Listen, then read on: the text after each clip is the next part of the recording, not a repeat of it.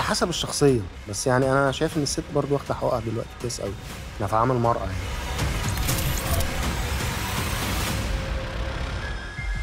صناعة زي هوليوود أولا إحنا يعني بقى عندنا أفلام يعني ما ما تقلش أهمية كتكنيك وكمستوى عن أفلام بنشوفها بره وفي حاجات أحسن. و- وكمواهب برضو برضو إحنا مش أقل من الناس بره يعني عندنا مواهب جبارة يعني. مش ناقصنا كتير. ناقصنا بس يبقى عندنا أنواع مختلفة. ما يبقاش في السينما نوع أو نوعين بس. يعني هم عندهم فرايتي أكتر في أنواع الأفلام.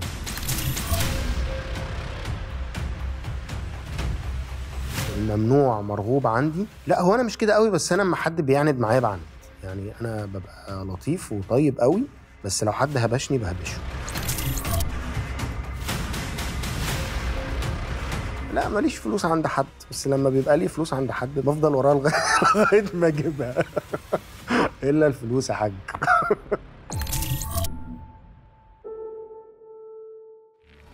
ربنا يهدي النفوس وما تجيش على دماغنا بس أهم حاجة.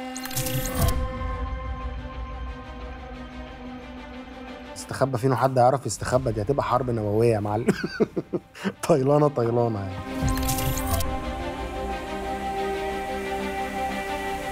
مبهدلني. الفترات اللي مثلا ممكن أمر بيها بنجاح جامد قوي بتيجي بعدها محن جامدة جدا. أعتقد ممكن يكون سبب من الأسباب الحسد لأن هو في النهاية الحسد ده طاقة سلبية. وأنا الهالة بتاعتي يعني دايما يقول لك إيه أنا الهالة بتاعتي قوية أنا الهالة بتاعتي ضعيفة. بحس الهالة بتاعتي مخرمة. يعني أي حد معدي بيهبدني عين بترجع على طول. قوة خارقة عندي ممكن الحاسة السادسة شوية بحس بالناس. ممكن بيبان إن أنا مختار الوحدة بس هي اتفرضت عليا. أنا ما اخترتهاش.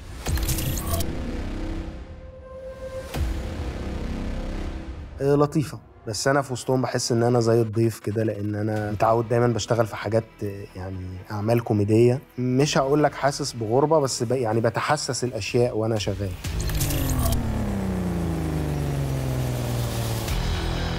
النفسنه في كل مكان. الأجواء العامة في اس ان ال كانت حلوة. بالنسبة للواحد بيشوفه بره لا كويسة ولطيفة. بس أكيد بيبقى في شخص أو اتنين عندهم مشاكل بيحاولوا يطلعوا عليك. لازم أنت يبقى عندك درجة من الوعي إن هو آه، بيعمل كده لأن هو شايف إن أنت سابقه بخطوة أو أحسن منه.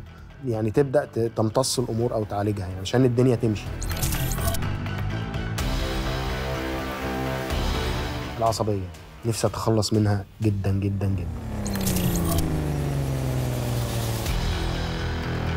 مبسوط جدا لأن ليسي بعيدا عن الفن آه، يعني زي ما بيقولوا رفيق الدرب. مرينا بصعوبات إحنا الاتنين وبنقع وبنقف وبنقع وبنقف. كسرنا كتير وشفنا كسرتنا قدام بعض في المهنة وفي الشغل وفي الوسط.